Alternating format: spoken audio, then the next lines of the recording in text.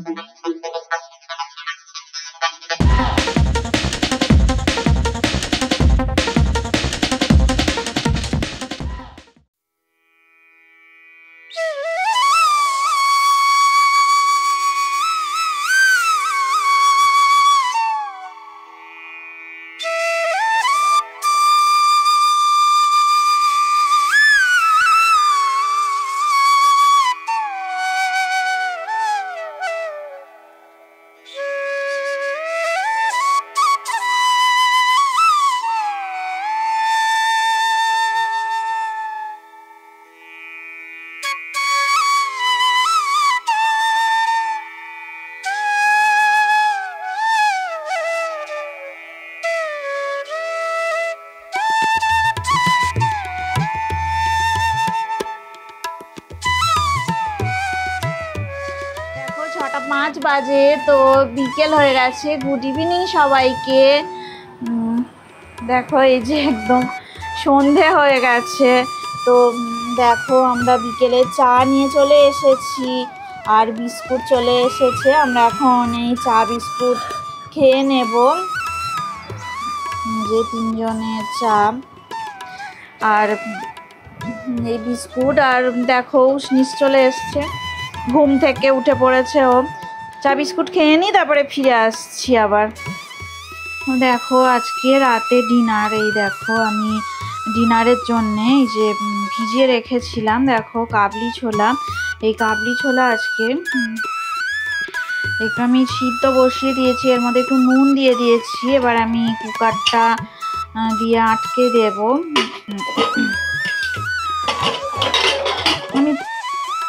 তিন ঘণ্টার মতো ভিজিয়ে রেখেছিলাম কাবলি চানাটা। তো আজকে রাতে এই হবে আর ডিনারে। আর দেখি কি করা যায়। রুটির সাথে আর কি করা যায়। আর এই দেখো এখন সবার একটু খিদে পেয়েছে। তো এই যে চাল ভাজা নিয়ে আসা হয়েছিল, আজকে আর স্ন্যাক্স আইটেম কিছু করব না। এই চাল ভাজা একটু সবাই, সবাইকে একটু দিয়ে দেব। তিনজনের তিনটে বাটি নিয়েছি। চাল ভাজা এগুলো মার্কেটেই কিনতে পাওয়া যায়।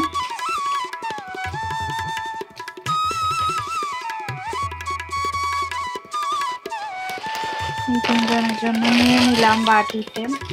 এখন আজকে স্ন্যাক্সের আইটেম কিছু বানানো হয়নি, তো এইটাই আজকে খেয়ে নিই তারপরে রাত্রিবেলা যে ডিনার বানাবো তখন ফিরে আসছি।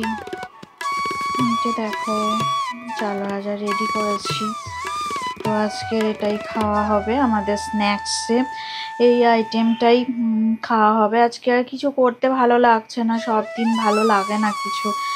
মানে বানাতে আর ভালো লাগছে না। তো ভাবলাম এই চাল ভাজা কিনেছিলাম, এই চাল ভাজা দিয়ে আজকে বিকেলে কি খাবারটা খেয়ে নিই। দেখো রাতে ডিনারের জন্য রান্না হচ্ছে এখন। এই যে বেগুন ভাজা, বেগুন ভাজাটা হয়ে গেছে। তো এবার আমি কাবলি ছোলা একটু রান্না করে নেব। আর দেখো রুটি হবে রাত্রে। তো রুটির জন্যে আমার এখানে দেখো লেচি হয়ে গেছে। আটা মেখে লেচি করা হয়ে গেছে। আর এই আটা রেখে দিয়েছি। তো এবার কাবলি ছোলার যে তরকারিটা হবে, কাবলি চানার তরকারিটা সেটা আমি তোমাদের সাথে শেয়ার করব। বেগুন ভাজাটা হয়ে গেছে, দেখো, বেগুন ভাজা হয়ে গেছে। এবারে বেগুনটা আমি একটা প্লেটে তুলে নেব।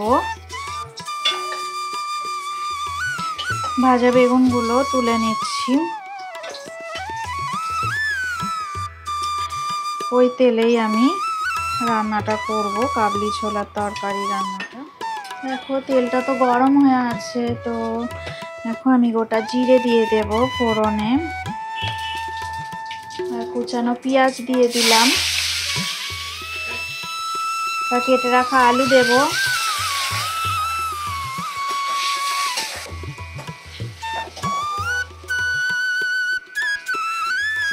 আদা, রসুন বাটা দিয়ে দিলাম।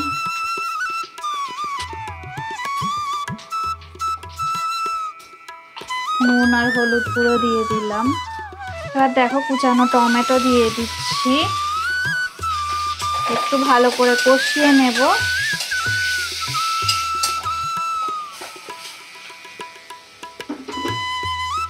কাবলি ছোলাগুলো দিয়ে দেব।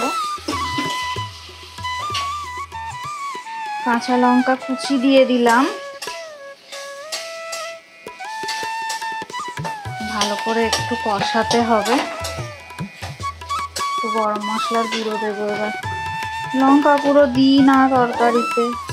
কারণ এই ঝাল একদম এরা খেতে পারে না। একটু গরম মশলার গুঁড়ো দিয়ে দিলাম।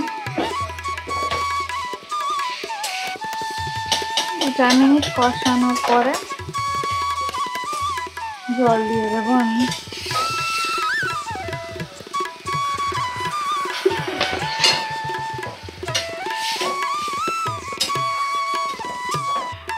দেখো, এই যে কাবলি ছোলার তরকারি একদম রেডি হয়ে গেছে, তো এবার গ্যাসের ফ্লেমটা অফ করে দেব আমি। রান্নাটা একদম হয়ে গেছে। ঢাকা দিয়ে দিলাম। এই দেখো, আজকে ডিনার রেডি হয়ে গেছে। দেখো, এই কাবলি ছোলার তরকারি রুটির সাথে খাওয়ার জন্যে আজকে একদম রেডি এই দেখো। তরকারি রেডি হয়ে গেছে। আর এই দেখো এই যে রুটি হয়েছে, গরম গরম রুটি। রুটিও রেডি হয়ে গেছে, তো এই আর তার সাথে বেগুন ভাজা, এই আজকের ডিনার তো এই সবে রুটিগুলো করলাম। তো এই আজকের ডিনার আমাদের। ভিডিওটা যদি ভালো লেগে থাকে, অবশ্যই লাইক দেবে শেয়ার করবে আর কমেন্ট করে আমাকে জানাবে তোমাদের কেমন লাগল। সবাই ভালো থাকো, সুস্থ থাকো আর আমার আমার এই যে ভিডিও দেখতে থাকো। তো এতক্ষণ ধরিয়ে আমার সাথে থাকার জন্য অনেক অনেক ধন্যবাদ, আর পুরনো বন্ধুদের তো অনেক ধন্যবাদ, আর যারা নতুন বন্ধু আছো, তাদেরকে আমার চ্যানেলে সাবস্ক্রাইব করার অনুরোধ রইল। তো সবাই ভালো থাকো, সুস্থ থাকো, আজকের মতো টাটা, পরে আবার নতুন ব্লগে তোমাদের সাথে আবার দেখা হবে।